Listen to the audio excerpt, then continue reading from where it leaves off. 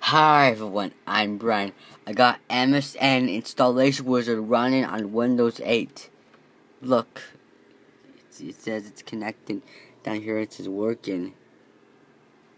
It's gonna connect to MSN.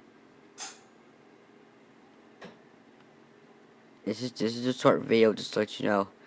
Now it takes a little while to connect. Okay, here it is. You got MSN running on Windows 8. I don't believe it. Look at it.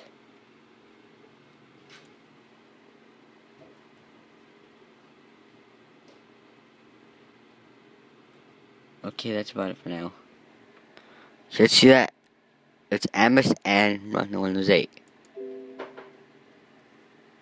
I said yes.